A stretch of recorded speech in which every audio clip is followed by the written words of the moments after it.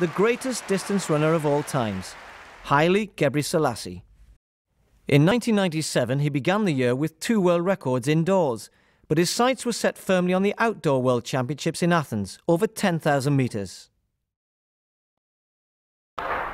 In all, Gebrselassie set no less than 20 world records during his career. But it's the major championships which are most clearly recalled. 25 laps to the track, and Gebrselassie takes the lead straight away. Somebody's got to go a long way round. Hissou follows. Tergat made no move at all, but Castro's right with these with a lap and a half left. The other man is Mezi in sixth place, only 19. And there goes Gebrselassie. Well, he doesn't need to, he didn't need to go that early, but look at that acceleration. He's blown them away in the course of 50 meters, and now the reigning champion is on his way. He can see one to go. Hear the music of the bell. Tergat's gone second, Hissou third, but Gebrselassie too good. The break was decisive even when he took the first 10 strides. They weren't prepared to go with him. They couldn't go with him anyway. He's full of running. Absolutely flying away from them. And even though they're chasing hard, they're not catching him. Tergat is in second place and Hissou third. Fourth is the long-time leader Koech. 200 left.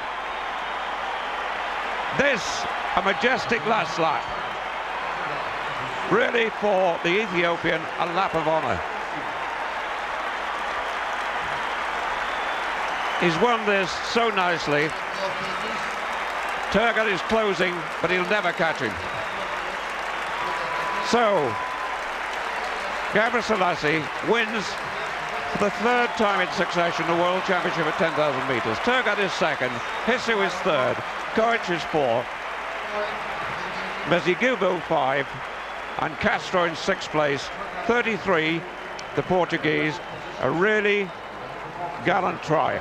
At Seville for the 1999 World Championships, Gebrselassie was once again out on his own. In a remarkable year, Gebrselassie raced in distances from 1500 metres up to 10,000 metres and remained undefeated in all competitions. And so to the 2000 Olympics in Sydney, Gebrselassie was trying to become only the third man in history after Zatopek and Viren to defend an Olympic 10,000 metre title. And Tergat now is uh, really having a go. This is where we find out. And Tergat's holding him. And Gebrselassie kicks again, but Tergat is holding him, uh, and Gebrselassie wins it. Tergat second, Mezi in third place. The field were getting closer, and this increased competition created an extraordinary period when Gebrselassie and his rivals started to run the 10,000 metres at near 5,000 metre pace. In 2001 at the World Championships in Edmonton, Gebrselassie found that pace for once a bit too hot. Two years later, Gebrselassie looked for his title back and became involved in one of the most remarkable 10,000 metre races of all time.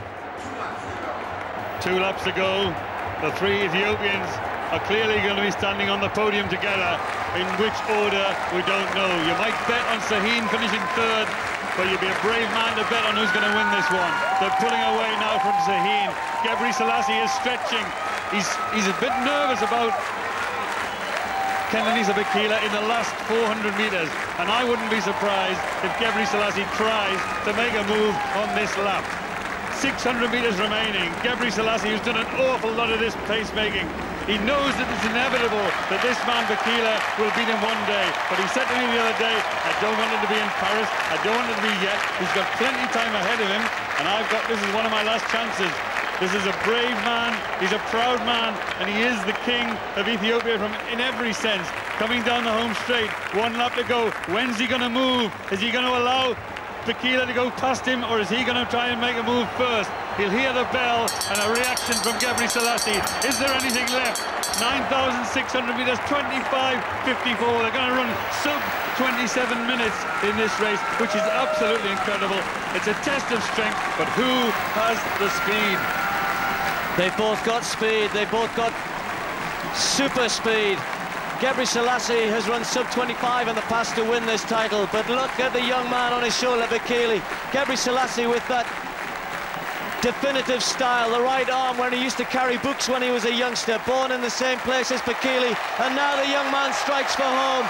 Has Gebrselassie got anything left? The emperor is beaten. We're going to have a new king from Ethiopia. Here he comes. Kenenisa Bekele unleashes a phenomenal sprint into the home straight. Gebrselassie still running strong. This is a brilliant, brilliant run. It's going to be gold for Ethiopia. It goes to the young man. It goes to the youngster. It goes to Bekele.